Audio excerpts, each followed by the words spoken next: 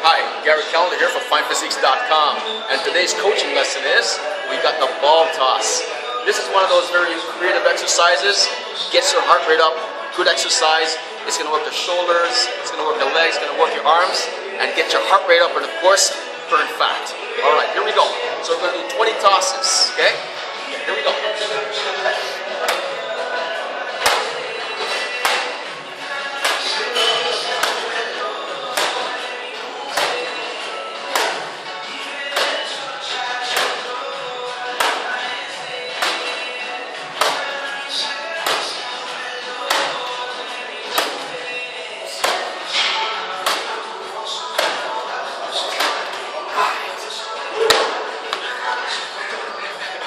It's an awesome exercise, I'll tell you. It doesn't take much to get you out with this exercise, but like I said, it's something different you can add to your cardio. You can start with 20 tosses. Like I said, it's gonna work your legs, your shoulders, your arms, and of course, it's gonna burn the fat.